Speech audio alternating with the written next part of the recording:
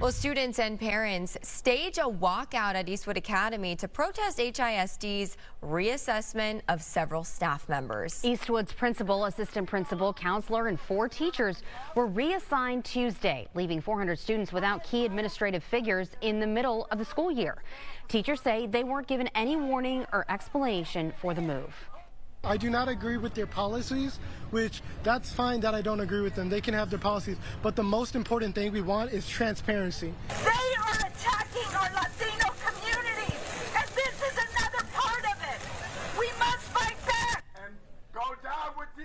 HISD spokesperson says that the staff transitions were made after an investigation into incidents of inappropriate behavior between adults and children. She didn't elaborate further. The district says that the safety of children is their top priority. Well,